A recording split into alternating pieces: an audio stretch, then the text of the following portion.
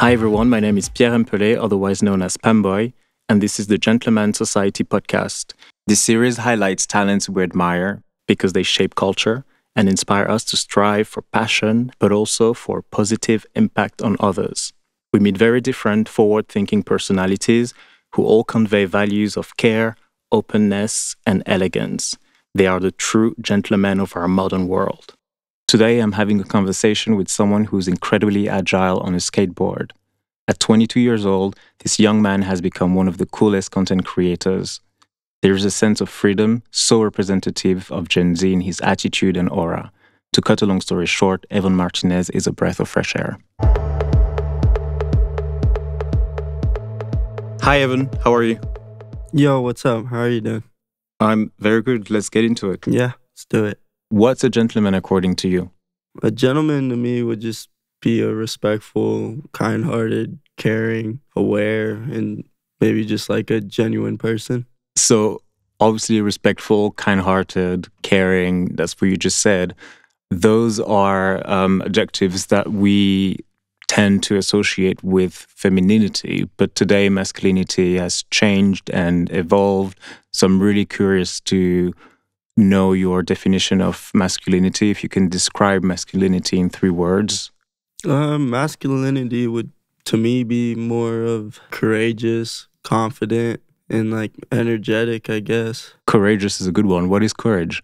It doesn't have to be scary, but facing your fears or doing something not everyone else would do. Could you give me an example of uh, one time you felt courageous yourself?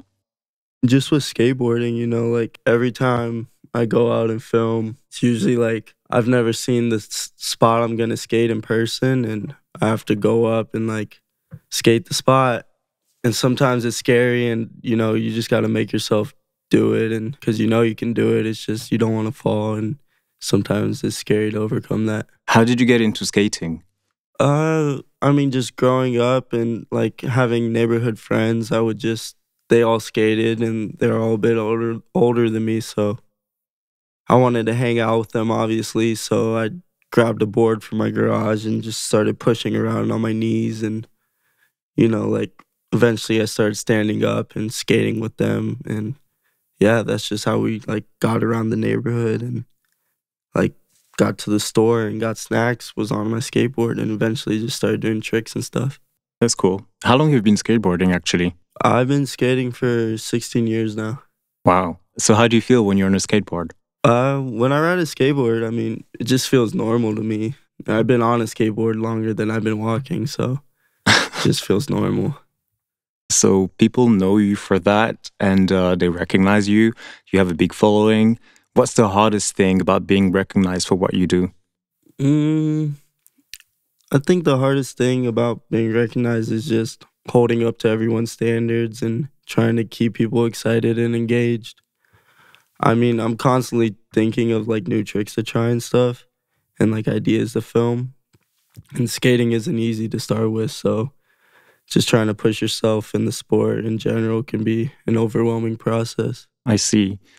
Could you describe your perfect day? Do you skate all day long? Uh usually yeah, I do skate, but I mean, if I start with like a cup of coffee, a good cup of coffee, it always tastes different every morning. So, nice cup of coffee, and then probably go skate with my friends all day, get a bunch of footage, and just have like good vibes on the sesh. And then probably just a nice dinner with my girlfriend or something. Then the day. Skating is like a you know style subculture. What's your mm-hmm. approach to personal style? What does it mean to you to be stylish today? For me, I mean, just like picking out my clothes and stuff when I'm skating is usually just like first off being comfortable i like i need to be comfortable in my clothes when i'm skating because i gotta be moving around and moving my legs so i can't have anything like squeezing me but you know i'd say i'm pretty certain on what i like and what i don't so whatever i see and i like i'm probably gonna buy it or i'm certain i want it and if i don't like it i most likely won't get it. I see. Um, when you were growing up were you looking up to any skaters that inspired you? Uh, I mean, I think the most inspiring skaters to me were like just people that were like close to me and like my friends, because that's like who I've seen skate most and in real life. I mean, of course, growing up in Vegas, I like seen a lot of pro skaters growing up, and the whole Baker team was like a big inspiration for me. But mostly my friends and just local Vegas skaters really inspired me. So, who are your real life heroes then? Uh, in skating or just in life? Just in life. My mom. I have to I have to pick my mom. She's one of my real life heroes. She made me who I am today, and yeah, shout out my mom. shout out to mom. yeah, shout out to mom always. Um, how does your passion uh, create a positive impact on the people of your community? I mean, I think I just create videos and hopefully I inspire kids and they go out and try and recreate some of my tricks or stuff I do and they get inspired and maybe do their own thing, but just with the idea I gave them. So I hope just to positively like get kids outside and want to go skate and make friends and stuff. And what does skating bring to you or to your life? Uh, skating to my life. I don't know. It's like so normal. I just wouldn't know what I would do without skating at this point because that's all I've been doing. And it's like, it's always been part of my life. So without it, I don't know what I'd be doing. So I'm very thankful for it. And it's basically like my lifestyle for sure. But yeah, it's helped me like get other opportunities too from skateboarding. So so essentially you're being true to yourself. So I want to ask you what does it mean to be true to yourself?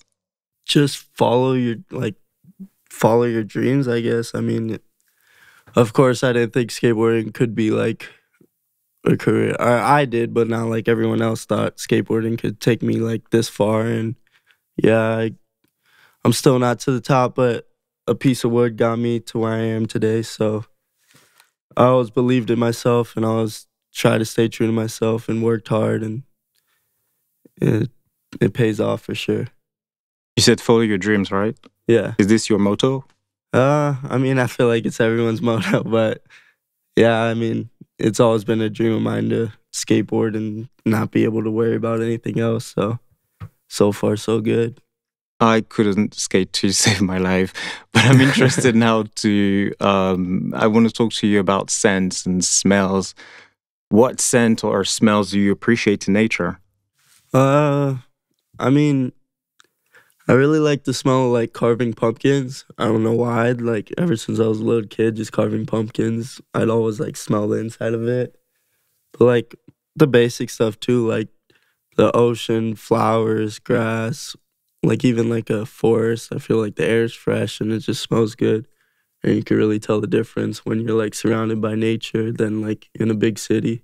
You're really young. Uh, I'm really interested in knowing what do you think your generation needs to in order to change the world. Oh, that this question's kind of hard, but uh, to keep the answer as simple as possible, I just think our generation needs to find a way to come together and start to find more things we can all agree on than disagree on. If we could all get on the same page about like certain issues, we will be able to tackle them in ways the older generation haven't been capable of. Like, I don't know, I just feel like we need to work together and stuff. I completely agree with you. What would you say to your younger self? I know you're young, but what would you say to your younger self? Uh, if I were able to talk to my younger self, I would just definitely say don't stress and don't think too far ahead and enjoy the moment. I wouldn't want to say like too much because you know there's like the butterfly effect thing where you say something and changes the whole future and stuff. So, I mean, I guess I could see things as a lot better right now, but also things could be a lot worse. And I'm pretty happy where I'm at right now, so I wouldn't want to tell myself too much, you know. Right. And change the future. thank you so much, Evon. It was great uh, chatting with you. Yeah, thank you so much, too.